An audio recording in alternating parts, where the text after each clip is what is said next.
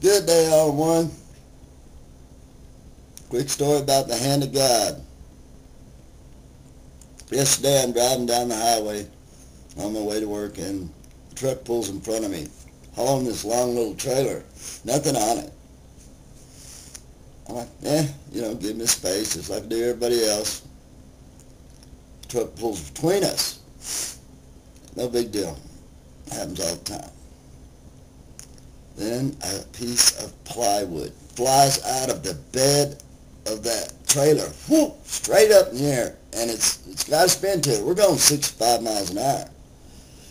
It cleared the truck in front of me while it was still going up, and I'm like, oh Jesus!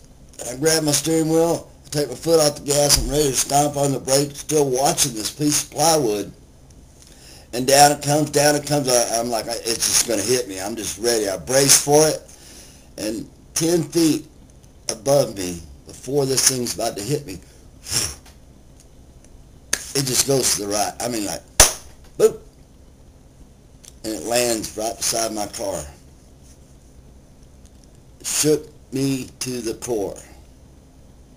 I was still shaking when I got to work, sat in the car for a minute, and I realized Thank you, Jesus.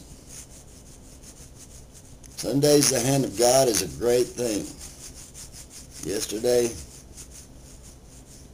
hand of God came and saw me. Said, not today, boy. Go to work. I'm so thankful.